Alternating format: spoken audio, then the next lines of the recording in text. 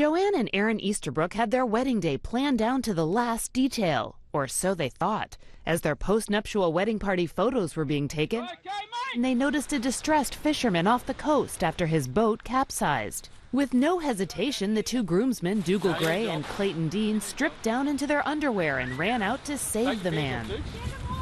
Dukes, take, take, take your gears. Your dogs are all right. ran down and, and, and saved the day. And uh, they were running down the beach, and as they were running down, they were stripping off their clothes and jumped in the water. Didn't even hesitate.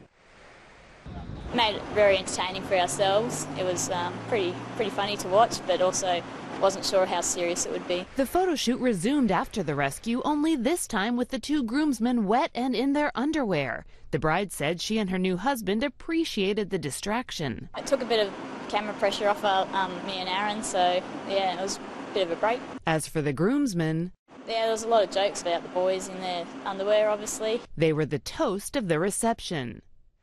Kelly Dashel, Associated Press.